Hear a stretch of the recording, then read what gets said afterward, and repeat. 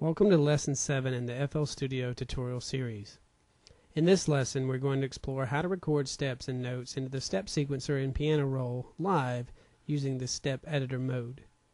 As in the previous lesson, we'll program using our typing keyboard or any MIDI controller you may have working with FL Studio. For this lesson, you may want to load your step sequencer channels with some drums and an instrument that can provide a bass line as well as another multi-note instrument such as a synth or a piano.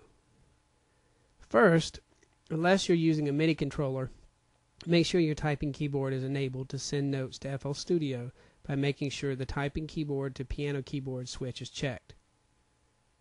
Now make sure to turn on the switch that triggers step editing mode. It's the one with the foot beside it here. Let's also go up and adjust the snap quantization to what note length we want to add each time we hit a key. For now I'm going to go with step to use in laying down some notes for the kick.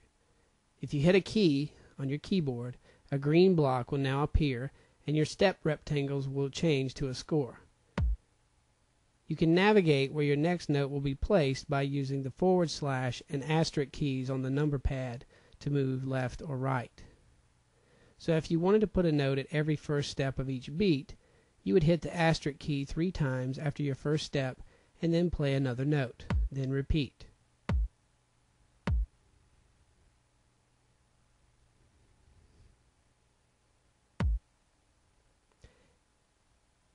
If you continue beyond the boundaries of the first bar, it will add another bar, yet does not lengthen your other channel, so be careful of that.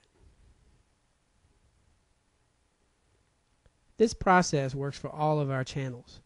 Before programming another channel, go up and hit stop on the transport to move the pattern position back to the beginning. For our hi-hat, we may want to vary the note lengths so as to achieve some roll type sections.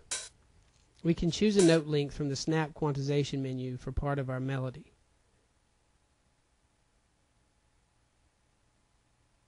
Then we can choose another length to add variation.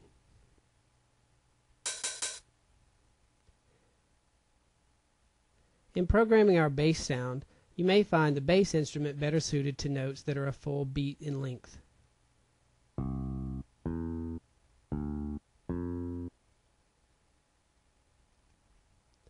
For our synth instrument, we may also want note length variation. This time, instead of changing our snap quantization, let's try to add a long note by playing a key then hitting the asterisk to advance the note to the right as long as we like based on our snap quantization.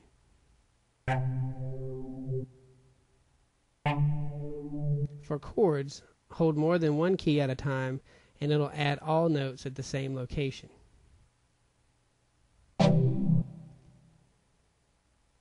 All of these notes and scores can now be edited more in the piano roll if you desire. Thus ends our lesson on recording live into the step sequencer and the piano roll using the step editing mode.